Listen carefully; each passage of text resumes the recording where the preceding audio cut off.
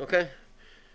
Definite integral using u substitution. This is AP Calculus AB, and here we have a problem that looks like this, and this is what I, I guess, want to start off talking talking about this issue that with some certainty that we can expect that when we have a definite integral from a to b of f of g of x times g prime at x dx, it is the same as the definite integral of f of u du evaluated from g of a to g of b. This is going to make a lot of sense in a second, but at first it kind of looks crappy, but it's actually pretty easy to do. So what I'm going to do here is just make a let statement, and I'm going to say let u equal 1 plus 2x squared. Why am I doing that? Because I believe that this x right here could possibly be part of the derivative of this, so I'm just going to take this inside piece out here. I'm going to take du dx of that, and it's going to be 4x. I'm going to solve for dx, and the reason I'm solving for dx is I'd like to replace this yellow dx right here with this one here. So if you just do this algebra, you, you'll find that dx is the same as du over 4x. All right, I'm going to rewrite this function in terms of u, so I'm just going to rewrite the whole thing.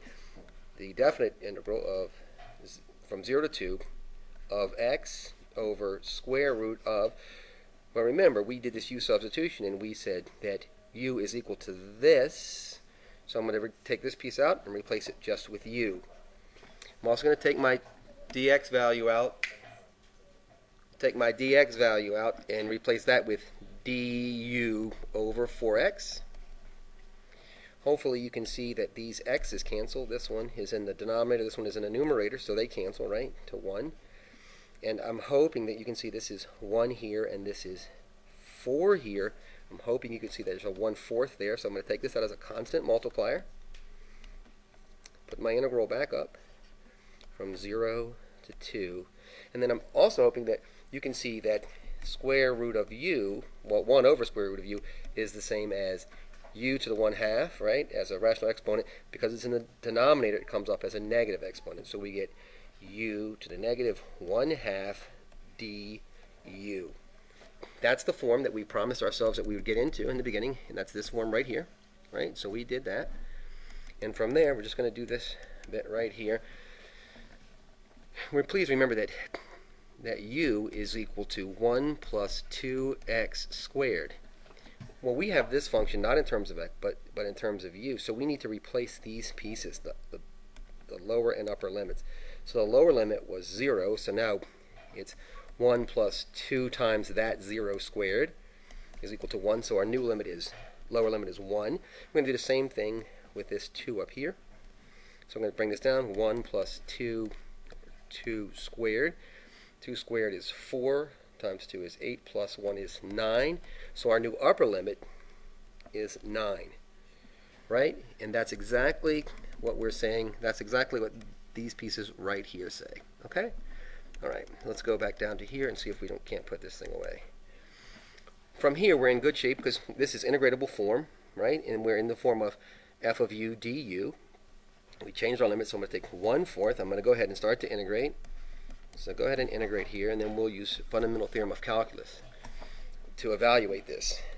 So it will be, right, u, right, I'm adding 1 here, so u to the 1 half, right, but it's 2, right, because it was over, right, because it's over 1 half, and that came up as 2, isn't that right? So 2 as evaluated from 1 to 9.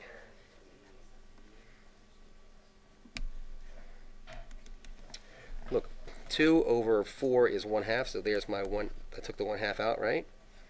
And now I want square root of 9 minus the square root of 1. And if you're asking what this is, this of course is the fundamental theorem of calculus. And we learned that before. So we know that the square root of 9 is 3, square root of 1 is 1, so 3 minus 1 is 2, so we get 1 half times 2 and our answer, the area, is 1. So this was kind of a pain, but we're going to do a lot more problems like it. And more importantly than that, I promise you, you're going to see this on the AP Cal AB exam. So good luck. Looking forward to your comments, and please subscribe. Billy said that you should subscribe. Thanks, Billy. and he means now.